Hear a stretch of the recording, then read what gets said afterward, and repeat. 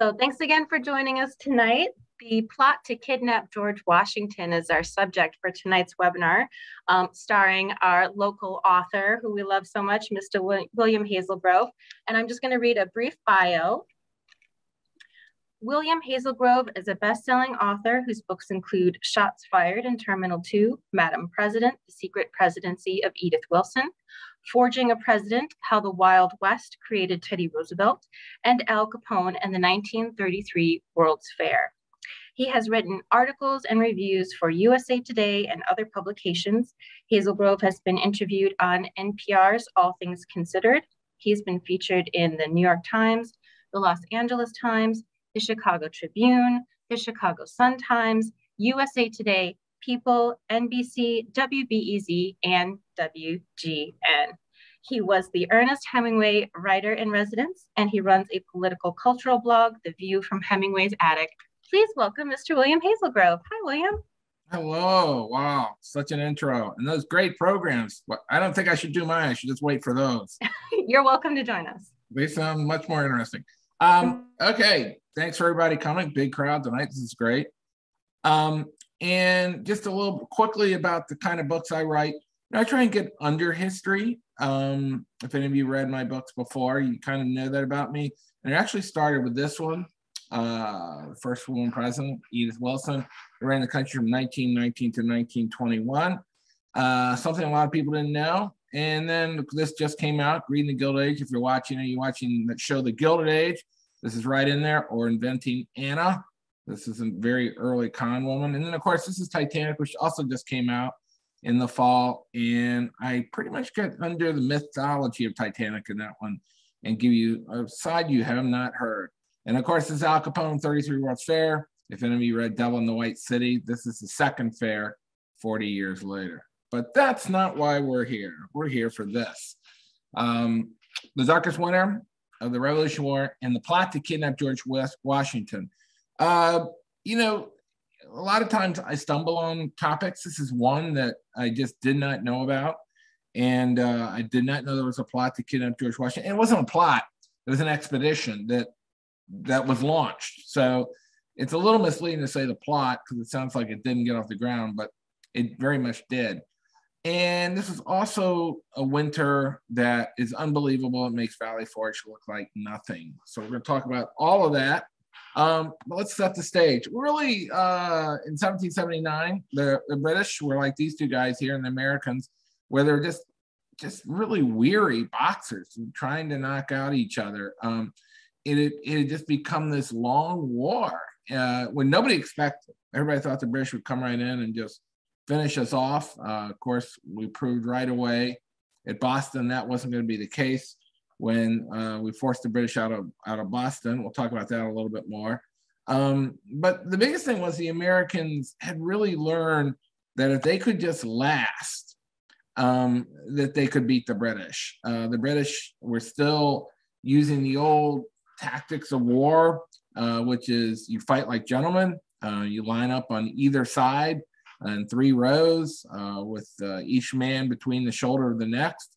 And you fire these volleys. Um, and uh, it's very orchestrated and, you know, whoever is left standing wins and then a very civilized surrender ceremony. And it all takes place also uh, during the nice months, uh, spring, summer, a little bit of fall, but then like gentlemen, everybody goes into winter quarters and you know enjoys themselves basically for the winter before the war games begin again. Uh, the first thing the Americans did was uh, decide, well, we aren't going to play that way. Um, and this was very frustrating to the British because they had always faced European armies that fought exactly the way they did. But the Americans under George Washington learned very quickly that the tactics of the Viet Cong were really the way to go, which was basically you you hit and hit and run. Um, and that the Americans were had a couple of advantages. One, we are on our home turf. Two, the land area was massive, so the British really couldn't hold it. And three is we knew how to shoot um, very well uh, because we'd been out in the frontier. Um, everybody had a gun, you know, uh, these long rifles. and so the Americans were able to go into a forest, get down behind uh, a rock or a tree, uh, pick off a British soldier, and then disappear. Um, and this was very frustrating to the British because every time they thought they had George Washington, he disappeared. He just would, you know, slip away. They thought they had him in New York. He slipped away there. He thought he was on the ropes in 1776 when he crossed the Delaware and took on the Hessians at Trenton and um, Princeton. And, you know, he just would not go down. And again, uh, Washington quickly realized that if he could just survive, he was going to beat the British because the war is very expensive for the British. Incredibly expensive. I mean, war, you know, we're sort of watching the, the Russians go into Ukraine now. Well, they haven't gone in all the way yet, but when they do, it's going to get a very expensive and it's going to get very bloody. So you know, that changes it very quickly, and we'll see how the Ukrainians fight. The Ukrainians fight. My guess is they're going to kind of do the same things. Um, but you know, so this was really a war of two sides sort of waiting for the other to say, I've had enough. So here comes the winter of 1779. And George Washington decides he's going to winter in Morristown, which is a 30 miles away from the Hudson River. Um, and, you know, this is uh, has the Watchung Mountains around it. Um, it's sort of fortified. Uh, he feels like he can he can winter there. Now, this is going to turn out to be a very very, very brutal winter. It's going to, and I'm talking about climate wise, it is going to be the one in a century winter uh, it, that will just bring snowstorm after snowstorm, incredibly frigid temperatures, so cold that the Hudson will have a once in a century occurrence and it will freeze solid. Um, and this is going to affect uh, what happens in Morristown in the kidnapping of George Washington very, very, very much. Um, you know, Washington assumed he could pretty much sort of lick his wounds. Um, now, let's talk about a little bit about the army. The army is not great, it's barely holding together. The war has worn down the Americans uh, in a way that probably hasn't worn on the British because the British at least are well fed and, and well clothed. And this is not true of the Americans. We'll talk about that some more. But, you know, usually what, happens with these you know plots to kidnap a, a general or a head of state is it's it begins with somebody who's disgruntled and that would be this guy um, this is general simcoe and general simcoe is a british officer um, and he doesn't believe the americans cause is just at all. In fact he doesn't even recognize the americans as an army. Um, he thinks they're a rabble. And he basically goes on a raid to, uh, you know, intercept some boats that were going to be used against the British. But what happens is he gets knocked off his horse by the Americans and taken prisoner. Well, General Simcoe has a very high, high regard for himself, and he believes he should be treated as a British general should be treated. Well, the Americans take him prisoner and immediately throw him in a local jail with a drunk. And General Simcoe is furious about this. Um, he almost, by the way, he almost gets uh, shot by a very young soldier who doesn't really know who he is. Um, another soldier wants to run a bayonet through him. So really, he, he's lucky to be alive. But now he's in this jail, and so he writes letters saying uh, to George Washington, saying, "I'm being treated badly. Um, I protest this. Uh, I demand to be traded." So Washington um, doesn't respond to those letters, but they do offer a trade. They're going to give back some British soldiers and they'll give him back Simcoe. Or rather, they'll give him Simcoe and they'll give them some American soldiers. Well, Simcoe is outraged because there are no American generals that are going to be traded for him. And in his mind, he's worth more than a couple of lowly privates. So he refuses to be traded. And again, he is in this dark, dingy cell uh, where he feels, again, insult upon insult. And actually, he has sympathetic ears in the American government um, who, uh, you know, not everybody believed in the revolution. It was probably 50 50 at this point, And nobody was quite sure who was going to win. So people were sort of playing both sides against the middle. So he actually had a sort of parade of high level Americans coming and going and saying, yes, this is disgusting the way you're being treated. And again, he writes Washington. Again, Washington doesn't respond. And Simcoe sees this as a great insult that Washington does not respond to him and, and you know, immediately pull him out of this dark, dirty jail and or at least find a general to trade for him, you know, an American general being held by the British. So finally, finally, they work out a trade, and Simcoe is given back to the British, where he starts to foment and brood about how he was so ill-treated by the Americans, but mostly how he was ill-treated by George Washington. Now, they the the Americans talk a little bit more about this. The Americans have been worn down by years of war with the British. Uh, when they come to Morristown, they they build a thousand log cabins, which they call it a log city, and uh, they they're a lot more barefoot. Um, uh, classically, they have nothing to eat, and they haven't been paid for years. Um, and they're starting to feel like America is tired of the war too. And in fact, they're starting to feel like nobody really cares about them. And that, you know, Americans are on with their lives and they see that the army is an imposition and, and they're very reluctant to give them food. Uh, it gets worse. Um, the Americans uh, know that the surrounding farmers have food, but they aren't giving it up. Why? Because the currency uh, the the colonies of America was worthless. Um, it was uh, if you had a wheelbarrow of the currency, the wheelbarrow would be worth more than the currency. And so these farmers, these American farmers, had all these foodstuffs that they could have given to the army, hold off for what's called the London market. And the London market is basically this, you know, market where the British will pay gold for food. And that's who they sell their food to. And the American soldiers know this. So they feel very much left alone. And the truth is, Americans had grown weary of the war. It was not fast. It had been grinding on and on. Um, and again, a lot of people thought the Americans were going to lose. So, you know, a lot of the people, a lot of Americans felt like, you know, let's just go back with uh, the British and, and call it, go back with England. Um, so this is a real moment of truth for the American army and for the cause, for the revolution itself. Now,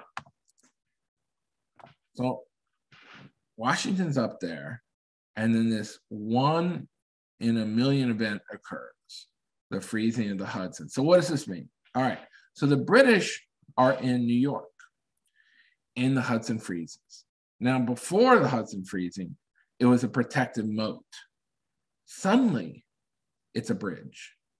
It's a bridge to Morristown. And, and this is a great change because now the armies can go back and forth. Washington go across it, the British can go across it. And, and, and nobody understands quite the implication of this. But Washington, who is up in Morristown, starts to get letters letting him know that, you know, this has occurred and that, um, you know, this could change, you know, his, the, level of protection he has in Morristown. Um, yet, yet he he still feels very protected up there. Um, there's a lot of snow coming down. He doesn't think anybody can go through all this snow. You know, Washington's a very interesting man. Um, he's, in one sense, he's a very anal man who um, his favorite saying is uh, every Mick, a lot of mickles and add up to a muckle, which is a Scottish idiom meaning basically small things add up. And he was very specific about what anything that happened at Mount Vernon. In fact, even during the war, he was writing back to the people working on his home about very specific things he should do. But at the same time, at the same time, he's a wild man. He uh, he doesn't like inaction.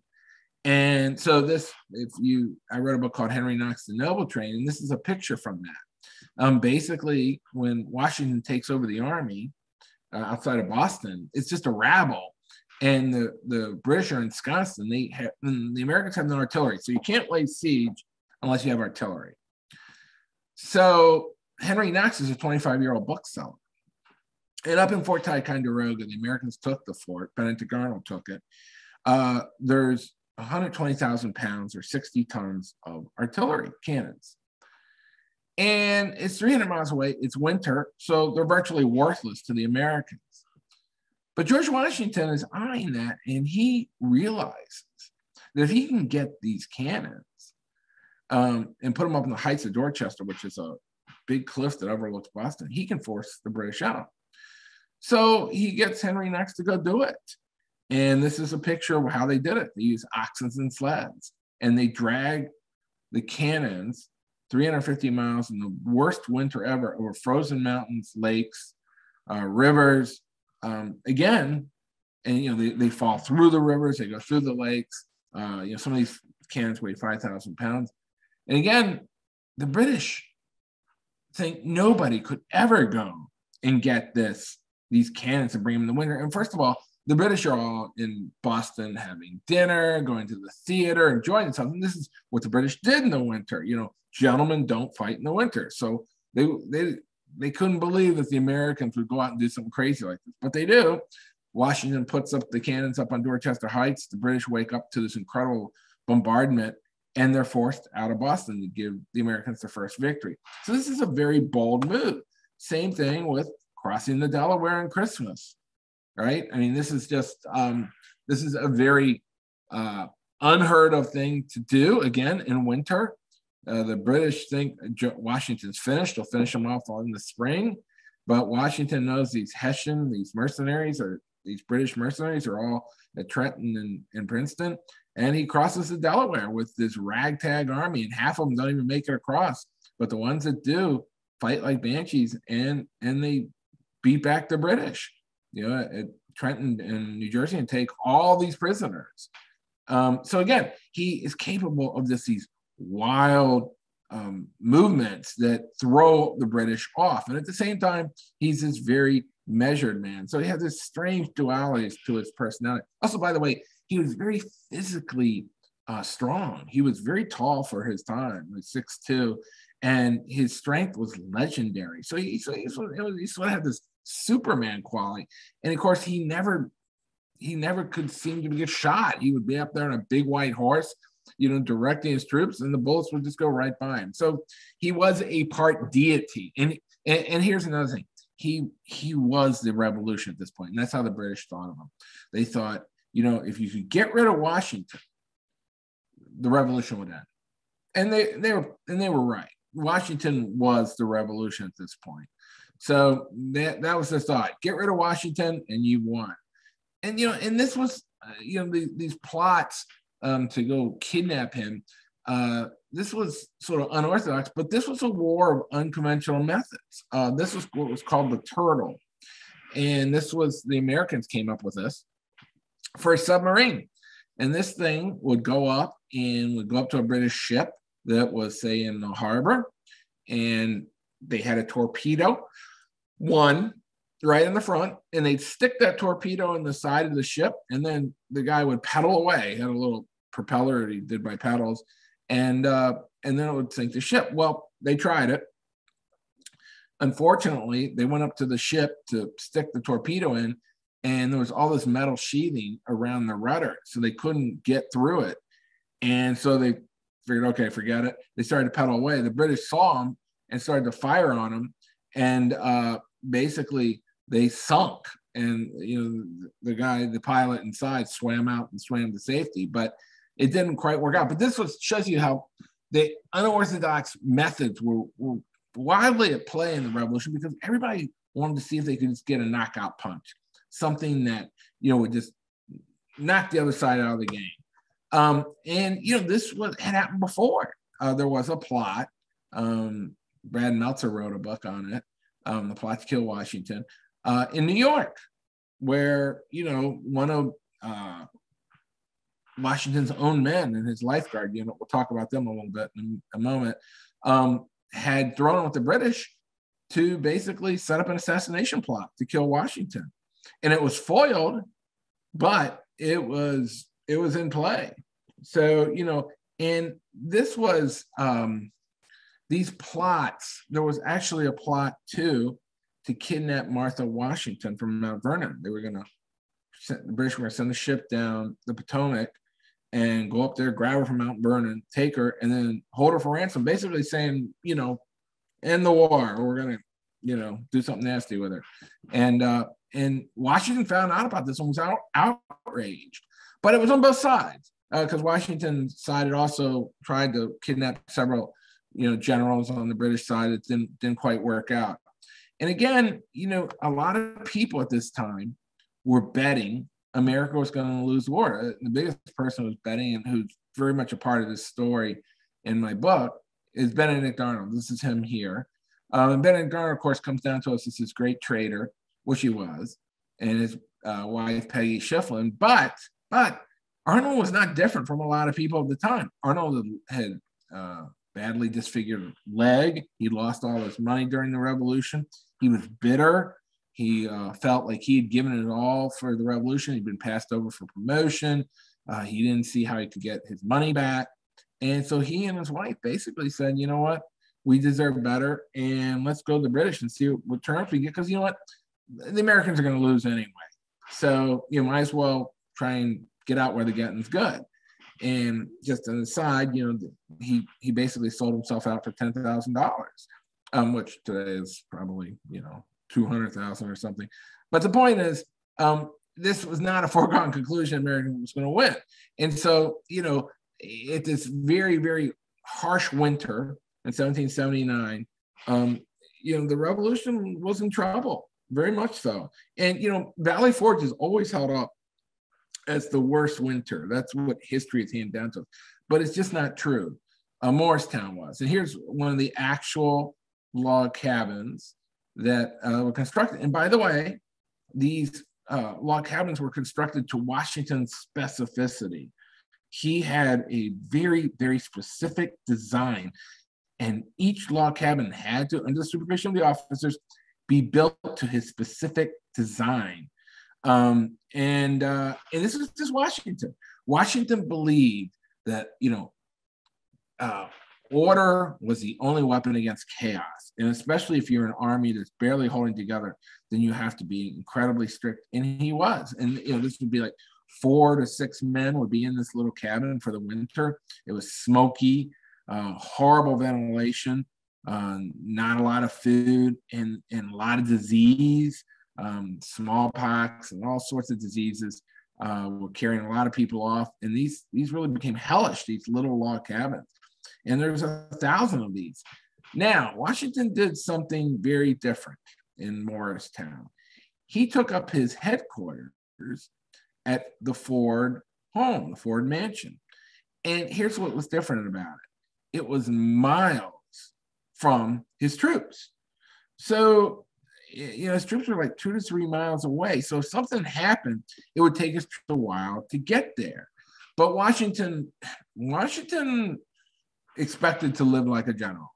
Um, and this is a whole nother story to this, but he would pass up several headquarters as not nice enough. Um, and that's just the way it was. And the officers led a very charmed life, and certainly the generals did. And even at the Ford Mansion, though, it was pretty cold. You know, it was all wood heated, obviously. Um, and Mrs. Ford, Mr. Ford had died, Mrs. Ford was still there with her family. So Washington's headquarters had to sort of navigate around the family but the, the takeaway from this is it's very, very far from its troops. And by the way, the British know this because there's lots and lots of spies everywhere. And the word comes to the British in New York that Washington is staying Morristown very far from his troops. Now, why, why we do it? Well, because these guys. Um, Washington believed he was fine, he was safe. Um, and that's because of his lifeguard unit. This is his secret service. Um, you know, we're so used to the Secret Service, these guys with the little thing in their ear and earphone and running around the president. Well, this was a unit that Washington had handpicked, and each man had to have a certain physical specifications. It had to be pretty tall, physically tough, uh, had to be beyond reproach. And this and their whole their whole function was to guard Washington, was to make sure that he stayed safe. And so their uh, cabins were pretty close to the Ford mansion. Um, and a lot of times the lifeguard units would do tasks for Washington. uh, sort of secretarial tasks a lot of times, moving papers around, doing things, taking messages. So, you know, they weren't just hanging around in case somebody tried something on Washington. They were actually, you know, they were sort of advance guard. They set up the Ford Mansion. They made sure everything was just so for Washington. But this this was who Washington depended on to keep him safe against, say, a kidnapping attempt. Now, General Simcoe, uh, he had something called the Queen's Rangers. Uh, remember, Simcoe has been badly treated, but he heads up this sort of elite group called the Queen's Rangers, who are basically like the SEAL Team Six of their time for the British. Uh, they have they, they have carbines. Uh, they can shoot from their saddle at a full gallop. Uh, they're very light and very fast, and then that's that's their design. Sort of hit fast and go. So, uh, and Simcoe, like Washington, is handpicks his men, and so you know these these Queen Rangers are the best of the best of the British, and this lightning force it gives Simcoe an idea uh, uh, how to end the war, basically, and and also to take revenge on you know the dishonor he felt from Washington. And he comes up with a plan, and this plan is pretty simple. Um, it, it basically it hinges though on the Hudson being frozen. And so his plan is this he'll take his Queen's Rangers, this lightning force of men, and they'll cross the Hudson at night um, go across. And again, this is now just a bridge. It's just, you know, Simcoe goes down to look at it at night. That's one of the opening scenes of the book. And uh, he just sees this great snowy expanse going to the other side. And it's thick enough to hold cannon. So this is a real change. This is a real coup, a real resetting of the balance of power here. Um, so they'll cross at night in a great secrecy. Then they'll gallop 35 miles to Morristown. So these are the Queen's Rangers.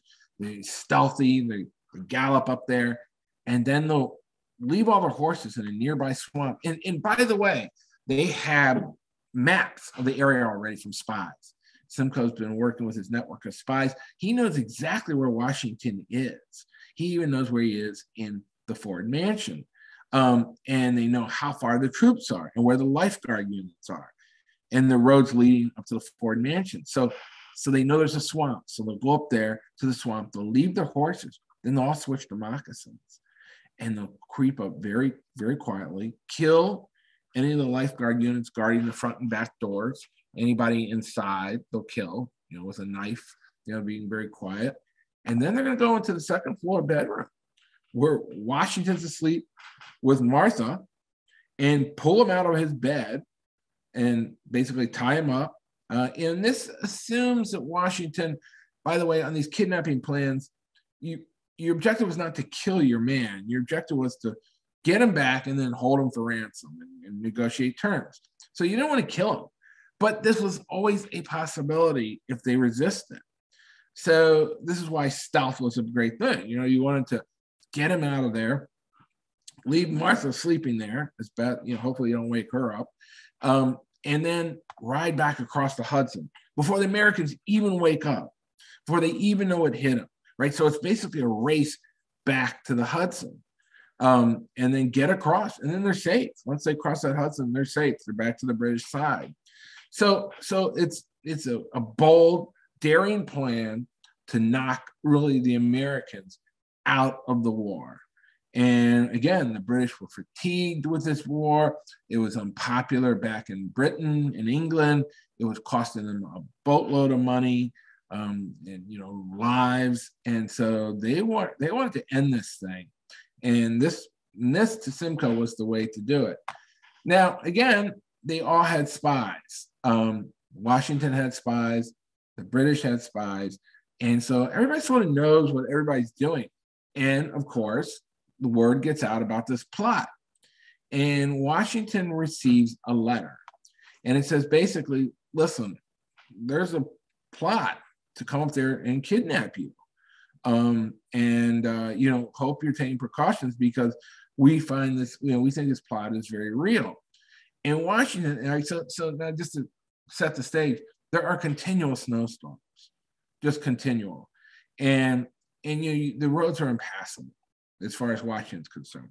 So he really feels this is, you know, hyperbole that that these this plot is coming off that these guys are going to come again. Besides that, he writes back and says, "Listen, I appreciate that, but you know, I've got my lifeguard. I, I'm safe. I'm I'm fine. So don't worry about me." And this is part of Washington too. Washington never showed any alarm, any panic. Even when he found out about the plot to kill him that came very close, he downplayed it and he only had one man hung. And he and that was because he didn't want people to think that the British had come so close to actually killing him and maybe potentially heading out the revolution. So Washington plays it the same way. He's a, you know, you know, he probably he probably does have this uh, feeling that you know he's godlike and that he can't be stopped and that you know they, they couldn't kidnap him. But again, these storms, this brutal, brutal cold, he's just thinking, well, you know, there's there's no way they can come up. And it's true.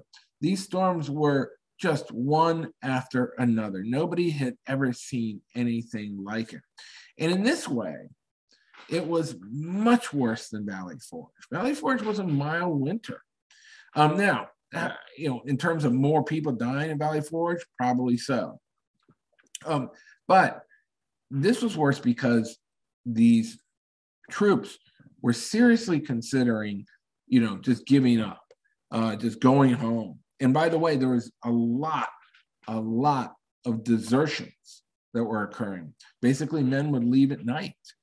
And in the morning, when they do the muster call, they'd see all the people who left. And Washington didn't play around on this. If you were caught deserting, you were shot or hung.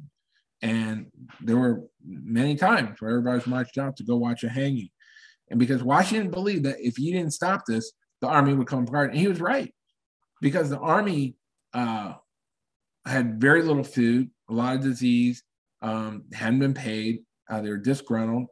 And and you know, this led to something that's pretty incredible, which we don't really hear much about in the history books, but there was a mutiny. Um, and this mutiny occurred because there was no food. And basically, what the men did was they came out of their log cabins and started marching um, without direction. In other words, they were army that said, we aren't going to listen to anybody. And they were thinking about marching to the nearest town and just, you know, taking food wherever they could find it, going up to any farm or anybody and just demanding food. Basically, sort of a, an army out of control. And, you know, several of the officers tried to stop them. They threatened the officers and they were marching out of camp when Washington confronted. And he said, you know, I understand. Um, we're going to get you some food, but you have to take the bigger picture here. You know, this this isn't for us. You know, this this is for the unborn millions yet to come that this country will be will be created. You are doing this for people yet to be born. And incredibly, they turned back. And you know they they did come up with some food for them and, and sort of got through the crisis. But this is how close the the you know the revolution was to ending right there. Um, it was not preordained. It, it it could just fall apart at any minute. Um, you know these allies were not professional soldiers. matter all of them were just militias that were banded together. And again, they, some were literally naked in terms of just no shoes, no hat, um, and you know, this winter was so brutal, they're freezing these little log cabins. So this knockout punch that's a British hatch um, makes a lot of sense in a way. They their spies are telling them that you know Washington's men are deserting, that uh, there's disease, that his force has fallen to half its strength, um, and that the British can knock them out very easily. And so Simcoe presents his plan to the higher ups. And basically, what happens, as what always seems to happen in the military or, or any big organization, people go, hey, that's a pretty good idea. And they take it over.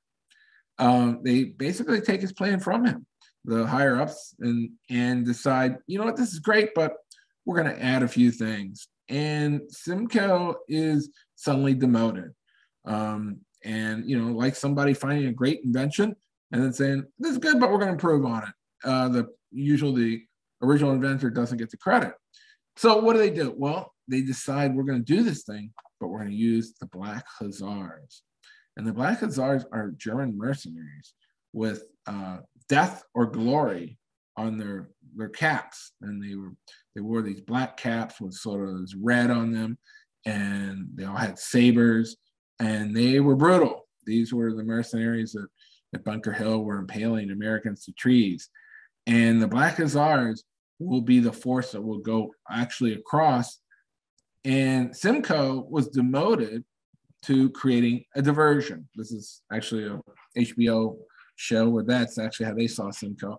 Simcoe, they say, look, uh, we appreciate the plan, but you're going to create a diversion for the Black Hussars, who are actually going to go do the get Washington and bring him back. Um, and so the diversion is going to be where he's going to go sort of attack the Americans and let the Americans think that, you know, he is the British are attacking and suck them all in while the Black Hussars race up and grab Washington while nobody's looking. And, you know, again, it gets bigger. There's like 1,500 men involved now. Um, so it's no longer just the Queen's Rangers that are going to do this. All the Queen's Rangers are going to go create the diversion. Um, this is now a full blown expedition to go kidnap George Washington. Now, the, the big danger is here is the Black Hussars are brutal. And there's a good chance they'll just kill Washington.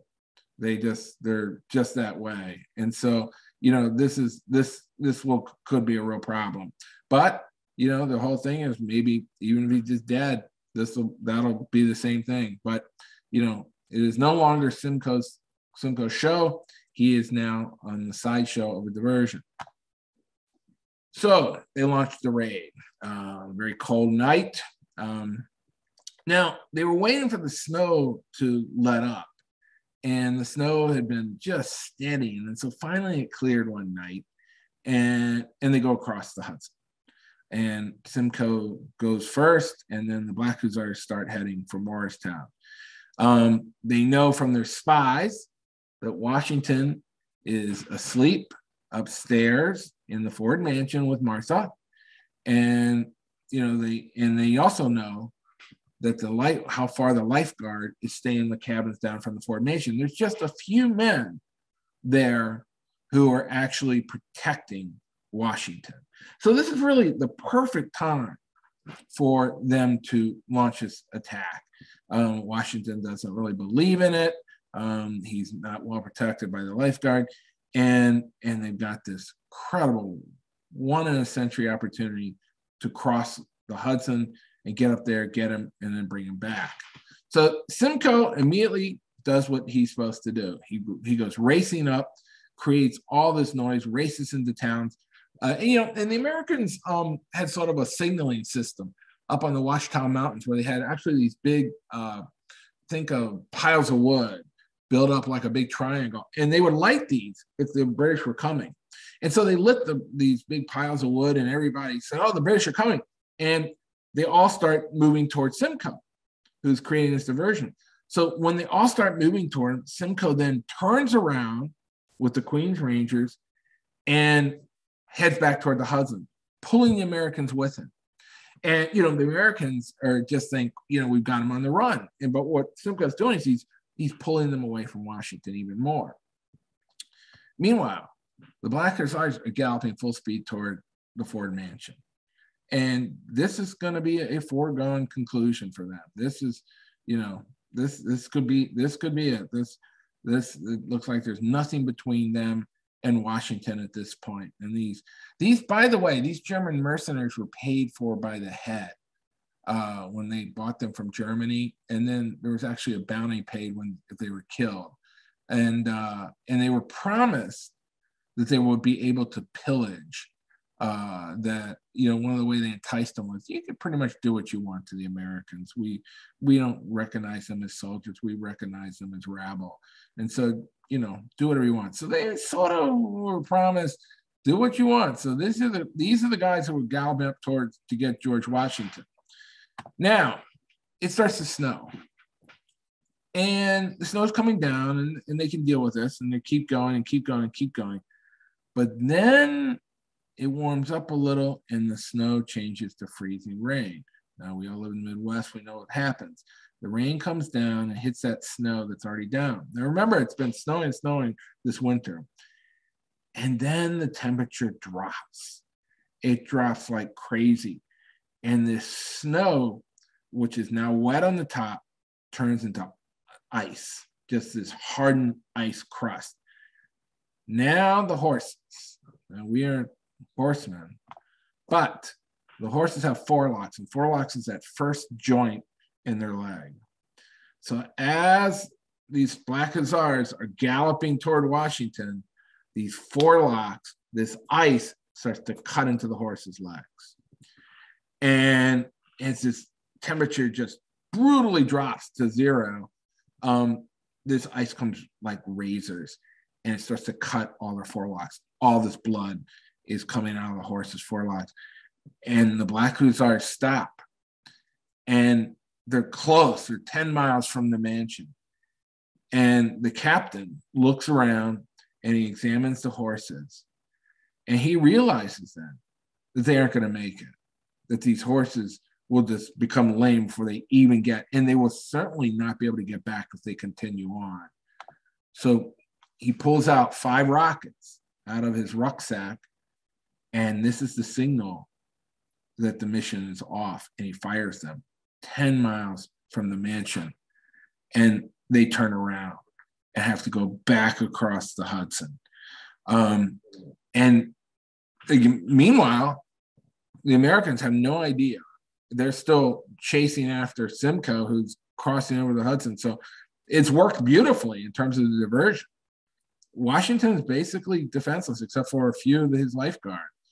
And you know, you had this whole troop of, of German mercenaries coming to get him, but they have to turn back. And they go gra- back across the Hudson. And so this expedition, this plot to kidnap him is foiled. But the British contemplate a second attempt. But then what happens? The temperature goes up and the Hudson, which was this once in a million lifetime, you know, once in a million freezing of the Hudson, it thaws and it can't hold the men, it can't hold the cannons, it can't hold anything. And so the, you know, the, and Simcoe wants this to go. He wants another shot at this. He's desperate to do this, but they don't get that other attempt. And Washington hears about the attempt. And very much in Washington fashion, he keeps it on the down low he finds out how close they came because they can see it in the snow. And he basically doubles his lifeguard and, and has them move very close to him. And, and matter of fact, he starts to move around himself. So he understood how close. But again, in Washington, Washington never wants to give the enemy any precept or any way to say success or how close they came. And they came close. And so, and in fact, the British don't want to this to get out. And you know, years later, um, this is kept a secret because they felt this was sort of a, a dirty trick, a sort of dirty way to fight. And George Washington and the Continental fight on, and there is a battle of Morristown that that follows this, where Washington prevails. Uh, but this was certainly their winter of discontent. This was the the worst winter of the revolution where it all they almost lost it all um, except washington lived to fight another day and that that would be till 1883 at yorktown where uh, the french would come in and by the way this is all in the book i can't get into this now but the french were very much a part of this in terms of they had promised support before this the support hadn't come but after this winter they come in with their support and again they they seal off the British at Yorktown and they win. Obviously, this book's out now. So that is Morristown, the darkest winter of the Revolutionary War, and the plot to kidnap George Washington. And I can certainly take questions now for anybody that has them.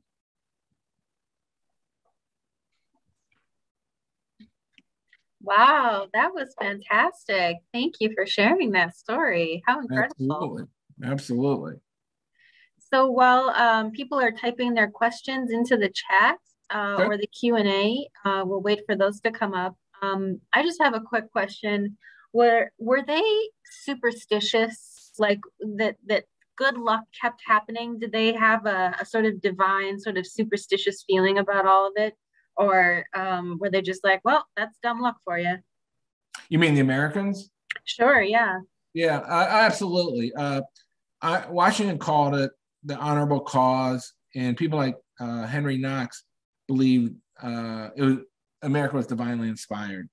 That you know God uh, meant for America to appear, and so it was uh, a holy cause. I'm not sure why Washington was a religious man to a, a point, um, but he before he took over, he was living off his wife's money uh, on a plantation. And this really allowed him to fulfill his destiny and to, uh, you know, take on the honorable cause, as he called it. And so, yes, they believed they were divinely inspired. And certainly Washington, as time passed, became half deity, half man. Um, the people believed uh, he was almost supernatural. And the British started to believe it too, because they just couldn't get him. And, uh, and this is just another case where providence, luck, weather, call it what you want, fate. And I, you know, and I've written a lot of narrative nonfiction books or, you know, history rather. And uh, one thing I've come to believe in is fate with a lot of people, be it Wilbur Wright, Teddy Roosevelt, um, Edith Wilson. Uh, it's their fate. And this is certainly true of George Washington. It was his fate to lead America and be the first president and lead this country because, by all rights, he should have been killed many times over. He should have been captured. His army should have been destroyed. Uh, this was this they were going to get uh, against the equivalent of a superpower today, and the American army was nothing. So this is just another case where, by all rights, they had him, but Providence dealt them a blow, and they never made it. Wow.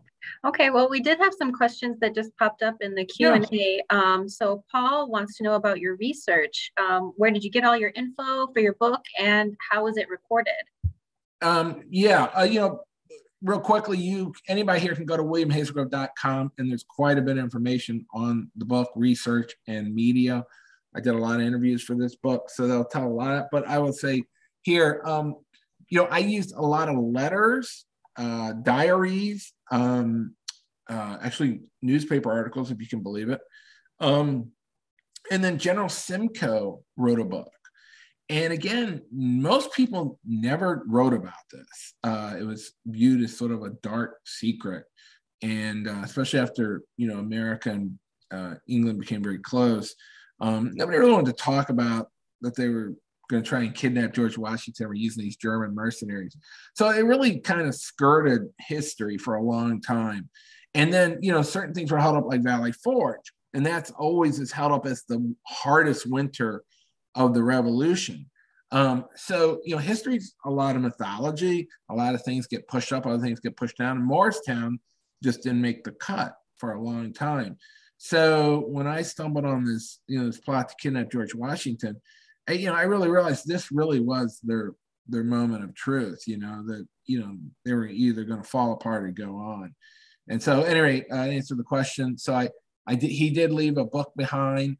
Um, there was a lot of letters that there was a surgeon um, that traveled with the army who kept an extensive uh, you know diary um, and so you know you sort of piece all these together and um, uh, there was uh, some official documents as well that I was able to get hold of and sort of stitch it together. And then you you sort of go, well, what makes most sense? How did this play out? You know, and and um, and that's really sort of how I put it together. All right. Well, we have a great follow up from another uh, person in Q and A. How do you choose the subjects for your books? Oh, great question. Um, basically, what I do is, um, you know, I I sort of read other people's work.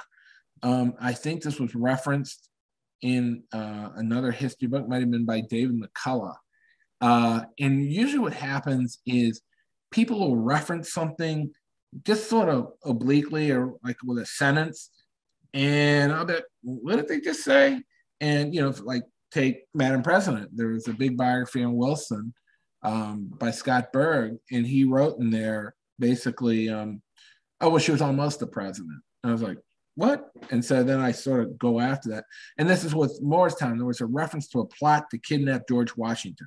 I, I it was an actually it was an article in a magazine, and I read that article and I thought, what what is this? And first I thought it was the plot to assassinate him, which Brad Meltzer wrote about, but it wasn't. It was this whole ex. And by the way, Brad Meltzer's book, it never that it never came to fruition. Nothing ever happened. They just basically plotted and they got foiled. Nothing happened. This went all the way. This was 10 miles away from you know the mansion. They were there. So this was actually an expedition to kidnap George Washington. This was a military campaign that actually came off. So this is very different than, you know, oh, you know, these people are talking about, you know, maybe kidnapping or a plot or, you know, this was actually a full-blown military expedition to kidnap George Washington. So I read that article and then I just started to dig. And then you start to piece it together. Well, what really, and then I came upon the, the worst winter of the revolution, how that played in, and then, and then you start to put it all together. All right. Well, I can say from experience, because I've had you with us so many times as a presenter, that you do have a knack for finding those little hidden gems in a larger history book and sort of narrowing down and and coming up with that narrative you know of what that one story was about within you know somebody's entire biography. There's that that thing that nobody else has got to yet. Yeah and you know and again in the book uh, benedict arnold is a big player in this and and you know i can't go into that because it's such a big part but this was moving simultaneously with this plot and he was he was in communication with the people who were working on the expedition to plot to kidnap George Washington. And his thing blows up at exactly the same time that this plot to kidnap George Washington is foiled because they can't get there. And, you know, that's a fascinating story of how close he came to giving up uh, West Point, the fort. And that was basically what he was going to give, get 10,000 bucks for and then leave. Um, and that blew up exactly the same time. But you know, in the book, I take all these parallel stories, and they all move together at the same thing until they come into this big denouement at the end. And then again, there's a huge battle for Morristown at the very end of, of the book. So this, you know, I sort of skimmed the rooftops with this um, presentation, but really, you know, if you read the book, there's it's really fascinating the way you know how close everything came to just falling apart. Yeah. Yeah. All right. So then we do have another question um, from TechRes. We he wants to know: Did they travel on the Whippany River to get to Morristown? Um. Yeah, I think so. I mean, I don't want to say for sure, um, but you know, I'm, I'm sure that the name really uh, sounds uh, sounds familiar to me because in the uh, Battle for Morristown, one of the pivotal moments is the British go down into a river and the Americans are hot on the high side, and the British think the river is shallow, but in fact it's deep, and they all get caught down there, and the Americans just pour down fire on them. Um, so that might be the river that he's citing there. Okay. All right. Well, if there's anybody else out there with a question, we'll hang in there for another minute so you have a chance to type that in. Um, but yeah, just to follow up with your previous uh, comments, William, about um, all of that, I was just thinking that it's so funny that so many plots were happening at the same time that maybe part of the reason none of them worked was that there were different egos at play among certain high ranking British oh, yeah. uh, officers who were all sort of in competition with each other instead of working that's together. Well, that's right. In the British, um, it was all who you are. And again, you know, you can go to my website, williamhazelgrove.com. There's more on that, but it's who your family was. And that pretty much determined what rank you were. Um, and the Americans, it was based on merit. So, you know, somebody said, hey, you know, something's going on, people listen to them. In the British Army, people wouldn't listen to them. They'd say, well, you don't know what you're talking about. And, the, and even the spies, you know, they were, they were always very skeptical of the spies. And so you're right. It was it was more of a uh, you know a system where you know, the aristocracy was the officer class, and then there was everybody else. All right. Well, we've had some people chiming in to say thank you. So interesting. And I have to agree, another really interesting topic. So thanks again for being here. Um, and then just so everyone knows, again, you are going to be back on Monday, March 28th to talk about one of your other brand new books, Greed in the Gilded Age, The Brilliant Con of Cassie Chadwick. Yeah, and I'll also say if anybody wants to send me an email at bhazelgrove at gmail, I can put you on my list because uh, I got like 38 speeches scheduled. So it's B Hazelgrove, this B is in boy, Hazelgrove at Gmail. And I'll put you on my mailing list so you'll know where I'm speaking next. All right. Thanks so much, William. It was great to have you, and we'll see you again in March. Oh, thanks so much. All right. Have a good night, everyone.